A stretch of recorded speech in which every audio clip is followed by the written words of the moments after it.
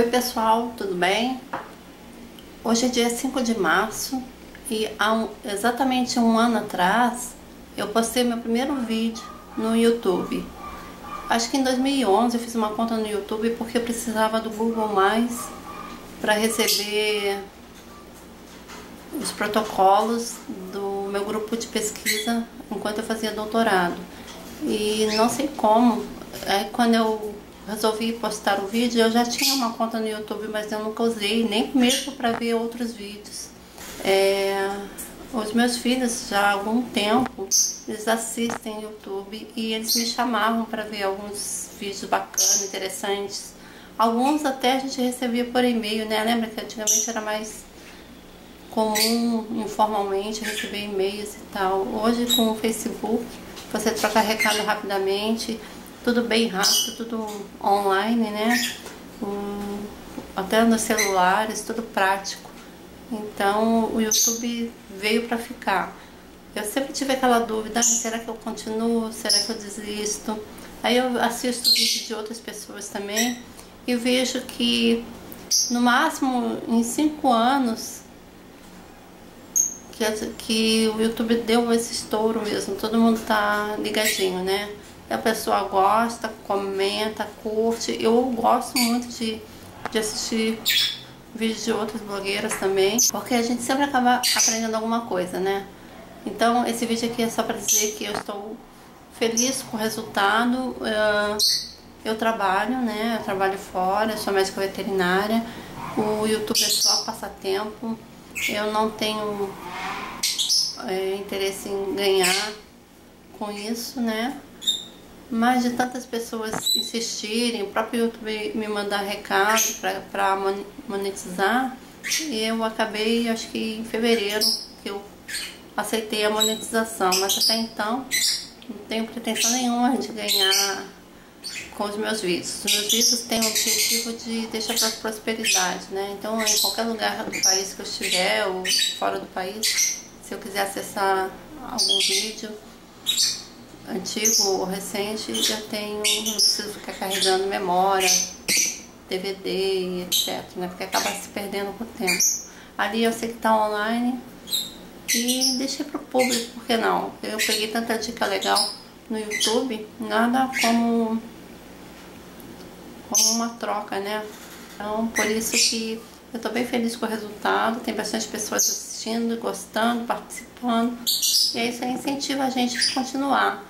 Como eu trabalho, eu não me aposentei ainda, então eu espero postar no mínimo um vídeo por semana, mas muito mais que isso, só mesmo nas férias, como vocês viram agora em fevereiro, janeiro, eu postei mais, porque realmente eu tinha tempo. Agora tá meio corrido, agora começou as aulas também, né? Meus filhos começaram as aulas no mês de março, e aí eu vejo que as blogueiras têm bastante trabalho as que se dedicam só em fazer vídeo não é, não é brinquedo não, é um arruma, arruma bastante coisas, arruma e bolar ideias, né? Porque os vídeos eles têm que ser interessantes, porque senão quem é que vai querer ver? Eu sou uma, só assisto o que me interessa.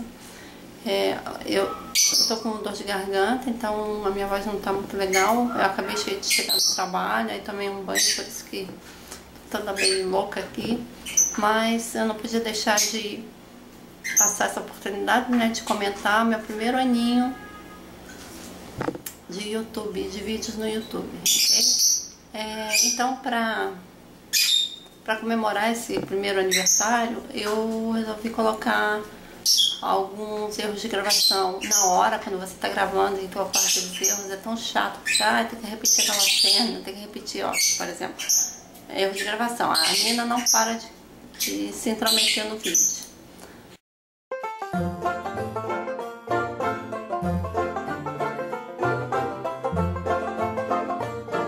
Mas vou continuar, porque agora eu vou falar sobre erros de gravação. Então, falando de erros de gravação, essa Sony, essa filmadorazinha pequena que eu tenho aqui, eu comprei pra levar nos parques do, de, de Orlando. Eu veio aqui do Brasil até pra ter minha, minha cota mais livre lá, poder comprar outras coisas. Então foi legal porque o meu primeiro dia de parque foi parque do Harry Potter. Então, se eu tivesse deixado para comprar, a gente só ia no Walmart à noite na loja de eletrônicos à noite eu não ia ter como filmar o primeiro parque. Os meus primeiros erros de gravação. Gente, não faça isso. Quando vocês forem viajar num lugar legal, teste a máquina antes.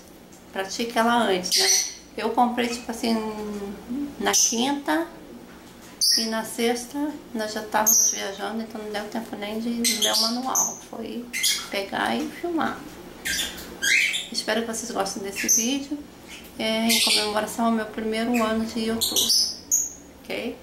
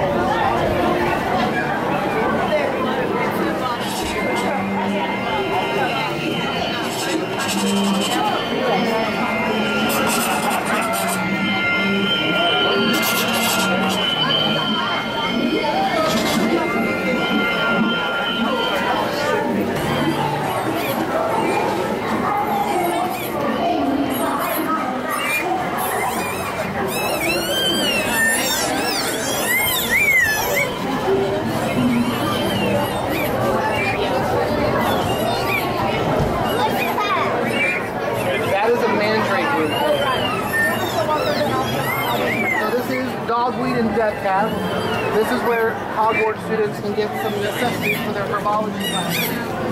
Um, dog Yes, everyone knows. Too bad we don't happen to have some of those. Look out for a bodacious blue bubble. And bumblebees buzzing won't cause you much trouble. C is for cooking. Who said that? Please stop. This C is for the Circus McGurkus Big Top. And D, that's a breeze. How about the David or Dingus McGee? E is for everyone under the sun. F is for friends who are all having fun.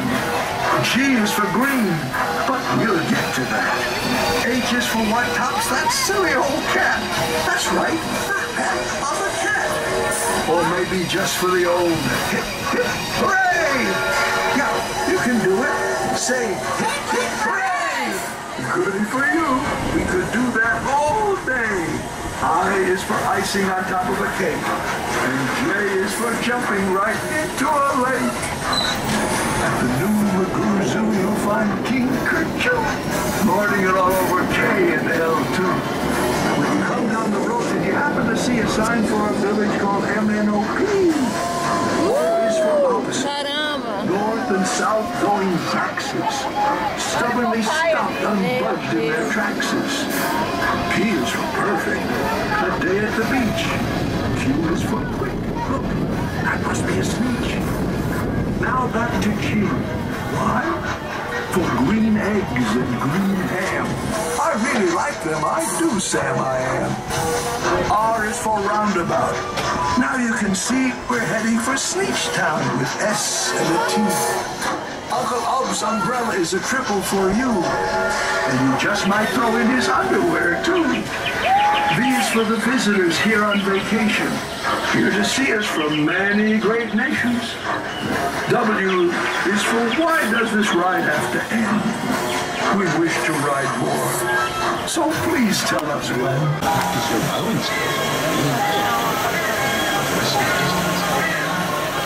Hippogriff. Beautiful, I think. Hippogriffs embody the main Send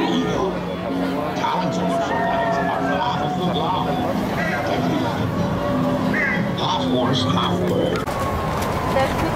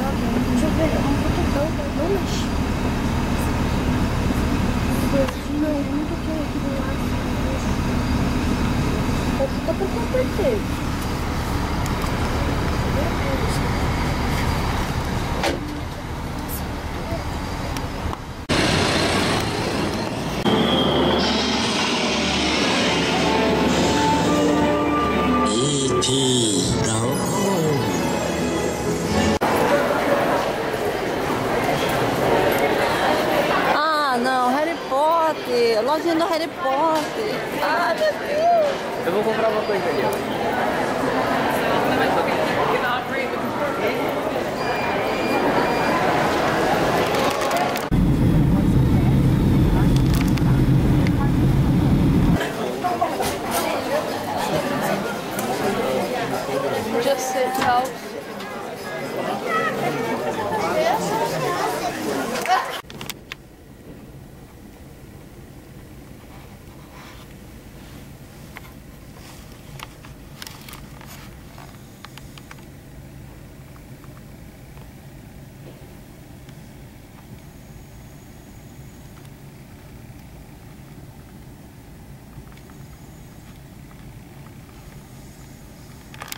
Obrigada por assistir e até o próximo vídeo.